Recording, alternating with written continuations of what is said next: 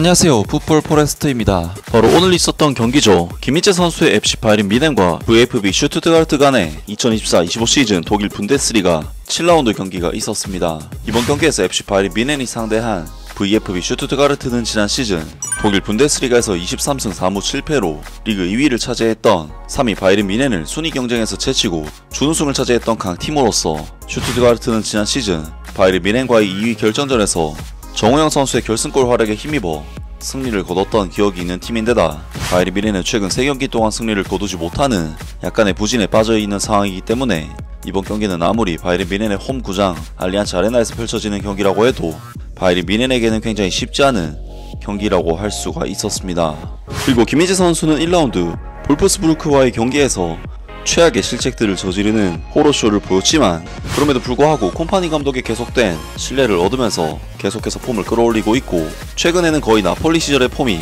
돌아왔다는 평가를 받고 있는 상황인 만큼 지난 시즌 분데스리가 준우승 팀인 슈투트가르트를 상대로 어떤 수비력을 보여줄 수 있을지를 시험할 수 있는 경기였는데요. 오늘 경기에서 FC 바이에른 뮌헨의 뱅상 콤파니 감독은 마누엘 노이어 골키퍼, 다요 우파메카노, 김민재, 요슈아 키미히, 세르지 그나브리, 해리 케인, 마이클 올리세, 알폰소 데이비스, 하파엘 게레이루, 토마스 뮬러, 알렉산다르 파블로비치 선수까지 올 시즌 바이에른 뮌헨의 무패 행진을 이끌었던 선수들이 총 출동하면서 완전한 full 주전으로 나섰지만 최근 들어 부상으로 고생 중인 자말 무시알라 선수는 이번 경기에서도 부상으로 명단에서 완전히 빠져버렸고 김민재 선수는 이번 경기에서도 다요 우파메카노 선수와 함께 선발 출전 기회를 받으면서 올 시즌 분데스리가 전경기 선발 출전을 통해 그야말로 확고한 팀 내 입지를 보여줬습니다. 그리고 오늘 경기에서 FC 바이에른 뮌헨은 슈투트가르트를 상대로 역시나 홈에서 펼쳐지는 경기인데다 바이에른 뮌헨이 그래도 올 시즌 더 좋은 경기력을 보여주고 있기 때문에 기본적인 볼 소유권은 가지고 가면서 지배하는 경기를 펼쳤고 전반전 볼 점유율이 67대 33,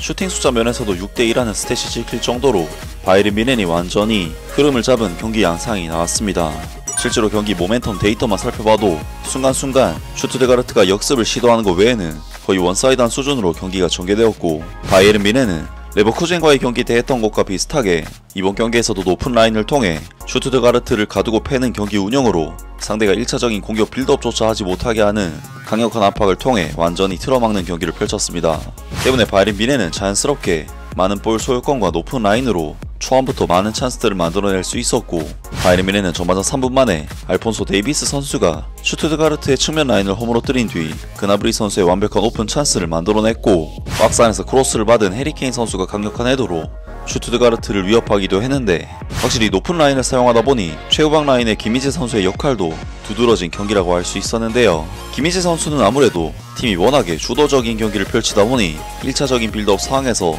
전진 패스를 뿌려줄 만한 상황이 많이 나왔는데 김민재 선수는 전반전에만 파이널 서드 지역 패스를 무려 6회나 기록 롱패스도 무려 11회를 시도해 8번이나 성공하는 정말 미친 패싱력을 보였고 전체 패스 횟수가 64회로 바이에른 뮌헨 팀 내 최다 스탯을 기록할 만큼 사실상 김민재 선수가 이번 경기 바이에른 뮌헨 공격에 시발점 역할을 정말 제대로 했다고 볼 수 있는 경기였습니다. 특히 김민재 선수의 패스는 번뜩이기까지 했는데 왼쪽 측면으로 오버래핑하는 알폰소 데이비스 선수에게 완벽한 공간을 제공하는 킬 패스로 찬스 메이킹을 해내기도 했습니다. 또한 김민재 선수는 이번 경기에서도 1대1 경합이나 수비 상황에서는 역시나 벽과 같은 모습을 보여주면서 상대 공격수들을 완전히 짓눌러버렸고 상대의 위협적인 킬패스가 나오는 상황에서도 특유의 뛰어난 판단력을 통해 튀어나와 차단을 시키는 등 상대가 역습을 해오기 위한 액션을 취하려고 하면 바로 나와서 차단을 해버리는 병모드 수비를 보여주면서 슈투트가르트가 아예 슈팅을 거의 시도조차 하지 못하게 만드는 정말 완벽한 수비력을 보여줬습니다. 하지만 이번 경기에서 바이른 미네는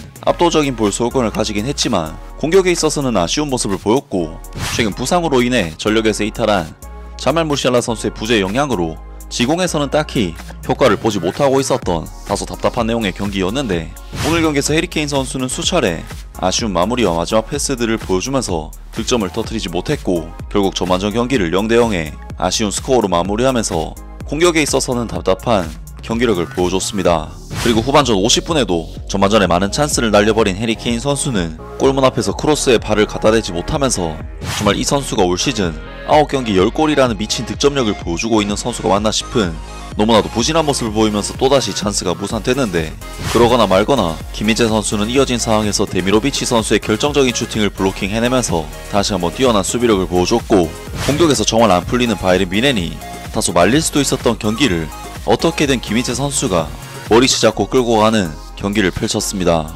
결국 수비에서 계속 버텨줬기 때문에 바이른 미네는 계속해서 슈트드가르트에게 맹공을 퍼부을 수 있었고 마침내 56분 오늘 경기 내내 부진한 폼을 보였던 해리케인 선수가 미쳐버린 중거리 슈팅으로 드디어 골문을 흔들면서 바이른 미네는 김희재 선수의 엄청난 활약과 함께 끝끝내 버틴 뒤 득점까지 터트리는 좋은 상황을 만들어냈습니다. 그리고 한 골이 터지자 바이른 미네는 더욱 수월하게 경기가 흘러갔는데 해리케인 선수는 박스 안에서의 세컨 볼을 집중력 있게 마무리를 지으면서 사실상 이번 경기 승기를 잡는 멀티골까지 작렬시켜 상황을 완전히 바꿔놓았습니다. 결국 완전히 혈이 뚫린 바이에른 뮌헨은 80분 해리케인 선수가 또다시 추가골을 터트려 해트트릭을 달성해버렸고 바이에른 뮌헨은 슈투트가르트라는 강팀을 상대로 정말 엄청난 대승을 거두는 좋은 결과를 얻어내면서 분데스리가 1위 자리를 탈환해내는데도 성공했습니다. 오늘 경기에서 김민재 선수는 앞서 언급을 했듯이 높은 라인을 가지고 경기를 운영하는 바이에른 뮌헨에서 정말 엄청난 패싱력을 보여주면서 1차적인 공격 빌드업에 상당한 기여를 해내는 패서로서도 뛰어난 활약을 보여준 경기였고 수비수로서의 본연의 역할인 대인 방어와 경합에서도 좋은 모습을 보여준 경기였고 최근에 계속된 좋은 폼이 또다시 나왔던 정말 완벽에 가까운 경기였는데요. 사실 슈투트가르트는 지난 시즌 준우승을 달성한 팀이기 때문에 이렇게까지 바이에른 뮌헨이 틀어막은 것이 정말 놀라운 경기력이 아닐 수 없는데 김민재 선수의 뛰어난 수비력이 있었기 때문에 바이에른 뮌헨이 계속해서 주도권을 뺏기지 않을 수 있었고 이번 경기를 안정적으로 승리를 할 수가 있었습니다. 김민재 선수는 이번 경기에서 공격 지역 패스와 롱 패스, 경합 승률 등 온갖 좋은 스탯들을 무지막지하게 찍어버렸고 평점 7점대의 좋은 평가와 함께 이번 경기를 성공적으로 마무리했습니다. 물론 이번 경기는 바이에른 뮌헨의 공격이 자말 무시알라 선수가 부진한 상황에서 약간은 아쉬운 모습도 있었지만 김희재 선수는 개인 수비에 있어서는 완벽한 폼을 보여준 경기였기 때문에 개인적인 활약과 폼은 역시나 엄청났던 경기라고 할 수 있는데요. 정말 김희재 선수에게 이번 시즌 시작은 엄청난 호러쇼와 함께 시작돼 많은 비판과 비난을 받았었지만 지난 경기에 이어 이번 경기에서도 김희재 선수의 퍼포먼스는 그야말로 압도적이고 파괴적인 수준에 미친 경기력이었는데요. 심지어 김희재 선수의 경기력이 강팀들을 상대로도 통하고 있다는 부분이 가장 고무적인 부분이 아닐까 싶고 지금 정도의 수준의 경기력은 정말 나폴리 시절의 김희재 선수가 완벽하게 부활한 그런 모습이 아닐까 싶은데 완벽하게 부활한 김희재 선수가 앞으로도 좋은 경기력을 계속해서 보여주기를 기대하고 응원하겠습니다. 아무튼 오늘 영상은 여기까지고요. 영상 재밌게 보셨다면 구독과 좋아요 그리고 댓글 부탁드립니다. 감사합니다.